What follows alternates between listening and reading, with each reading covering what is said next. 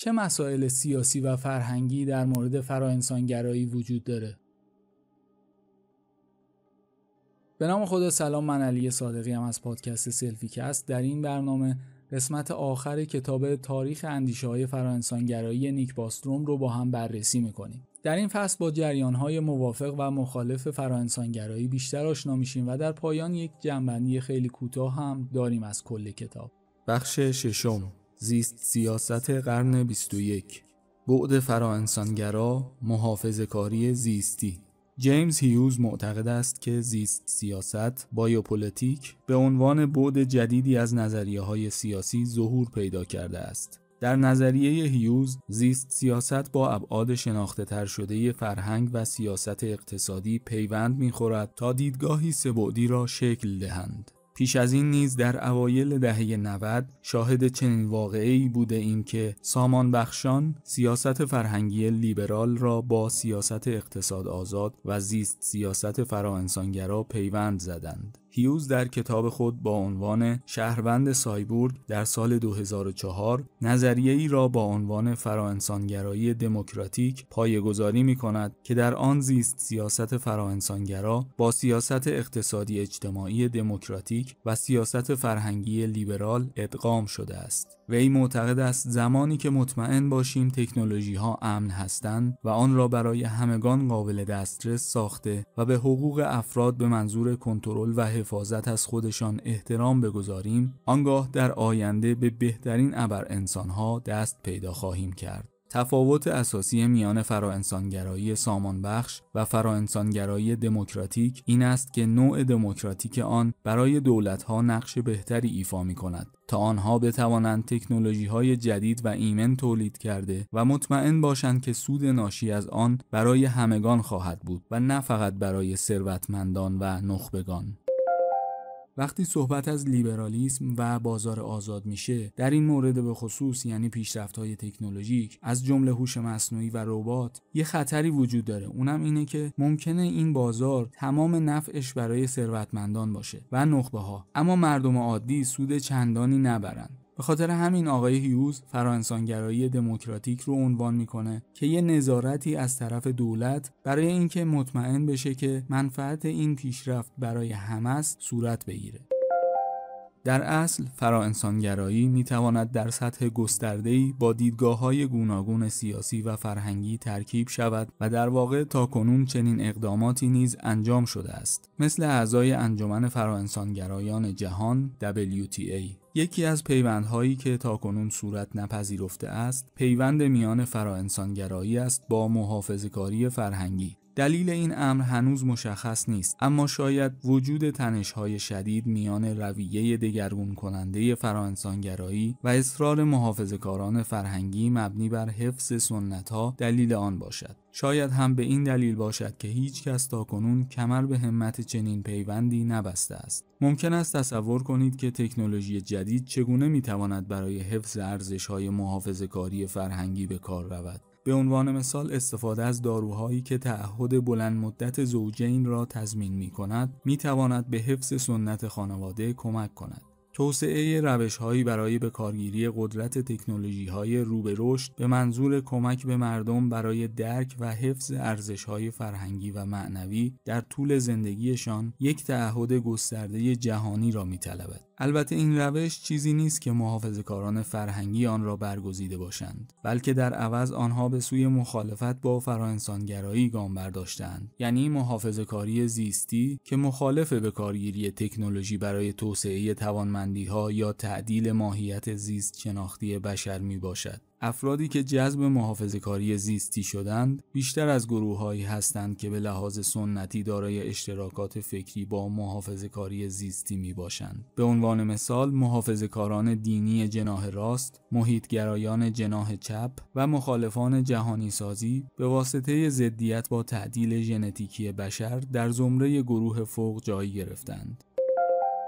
این گروه ها نه تنها با تغییرات ژنتیکی بلکه با همه تغییرات در سطح اجتماعی و فرهنگی به دلیل دقدقه هایی که نسبت به حفظ ارزش ها دارند معمولا مخالفند.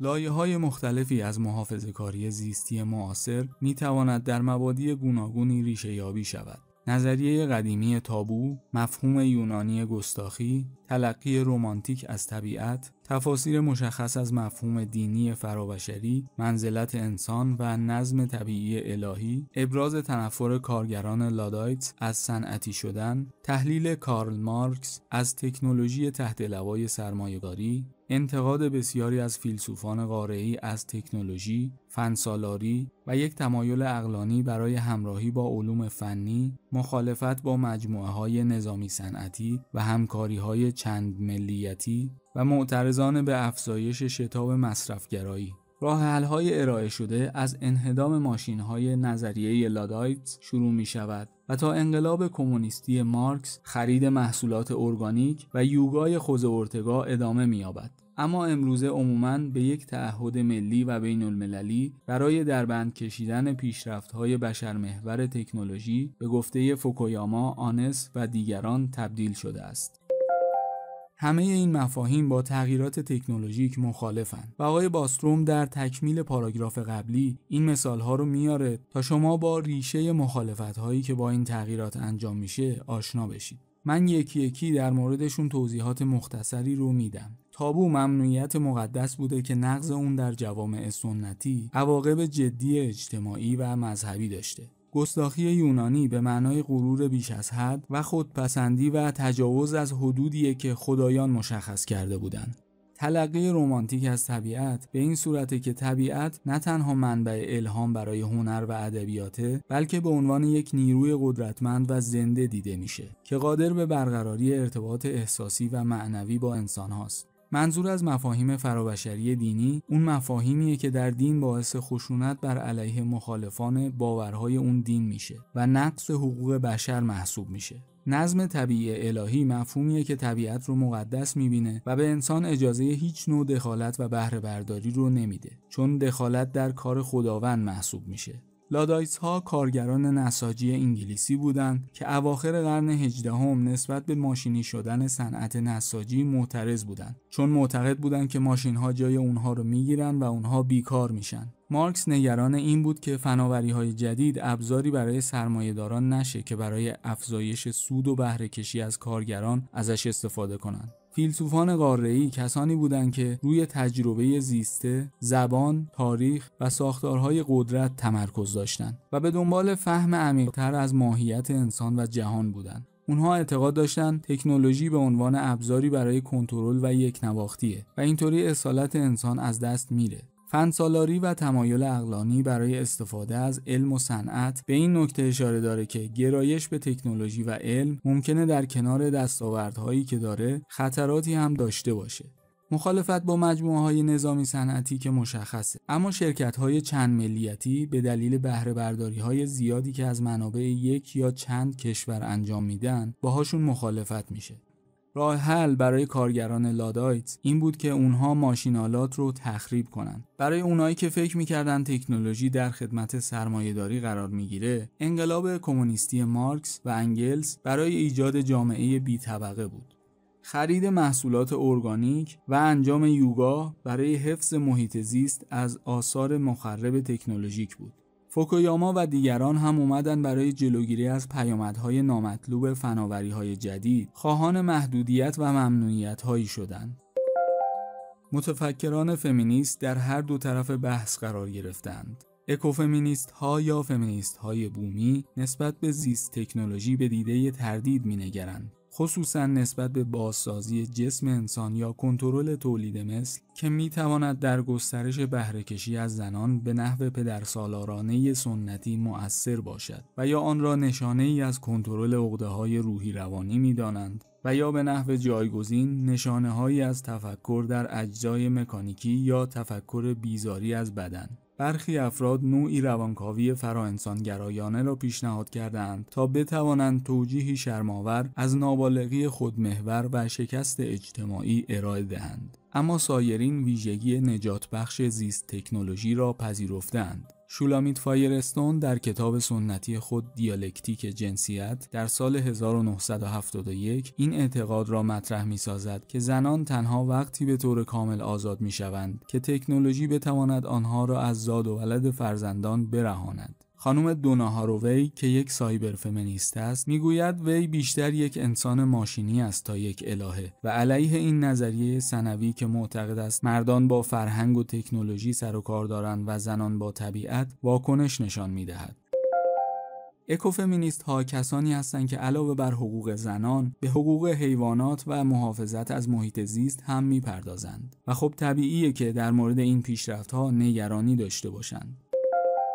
شاید امروزه برجسته ترین محافظه کار زیستی لیون کاس باشد که رئیس شورای اخلاق زیستی جورج بوش است. کاس به لحاظ فکری خود را مرهون سه محافظه کار زیستی دیگر می داند. پل رمزی متأله پروتستان، سی اس لویس مدافع مسیحیت و هانس جونس فیلسوف و متعله آلمانی دانش آموخته نزد هایدگر. دل مشغولی کاس بر روی شعن بشر و رویهی متمرکز می شود که از بین بردن معانی سنتی همچون معنای چرخه زندگی، معنای رابطه جنسی، معنای خوردن و معنای کار کردن می تواند تمامی تلاش های ما را برای استیلای تکنولوژیک بر ماهیت بشر به پای پایان برساند. کاس برای طرفداری از نظریه حکمت تنفر مشهور است که بازگو کننده روش اکتشاف هانس جونس می باشد در حالی که کاس تاکید می کند که احساس غریزی تنفر یک برهان اخلاقی نیست با این حال بر این نکته تاکید کرده که عامل لعنتی برای توجهات آبرومند ما شایستگی دارد. حکمت تنفر به یک احساس ناخوشایند غریزی اشاره داره که ما نسبت به برخی پیشرفت‌های فناوری داریم. لیون کاس معتقده که این ناراحتی بی دلیل نیست و یک واکنش در مقابل خطره و ممکنه ادراک ما رو از خودمون، جایگاهمون و جهانی که درش زندگی می‌کنیم تغییر بده و از معنا توهی بشیم. در موارد حیاتی نفرت بیان احساسی خرد عمیق است. فراتر از قدرت عقل برای بیان کامل. ما به طور فوری و بدون استدلال نقص چیزهایی را که به حق عزیزشان می‌داریم درک و احساس می‌کنیم. برای آلودگی و انحراف پاسخ مناسب تنها می‌تواند وحشت و نفرت باشد و برعکس وحشت و نفرت کلی دلیل اولیه آلودگی و نقص هستند. خب این یعنی حکمت تنفر یه جورایی همون عامل لعنتیه که قبلا توضیح دادیم. فرانسیس فوکویاما دیگر اندیشمند برجسته محافظه کار زیستی و عضو شورای اخلاقی بوش اخیرا فراانسانگرایی را تحت عنوان خطرناکترین ایده دنیا معرفی کرده است. اما دل مشغولی اصلی فوکویاما نابودی معانی نیست بلکه بیحرمتی و ستمکاری است. او معتقد است لیبرال دموکراسی بر این واقعیت استوار است که تمامی انسانها در یک عامل مجهول مشترک هستند که منزلت و حقوق برابر را برای آنها به ارمغان می آورد. او از این می که به کارگیری تکنولوژی رو به رشد این عامل را نابود سازد.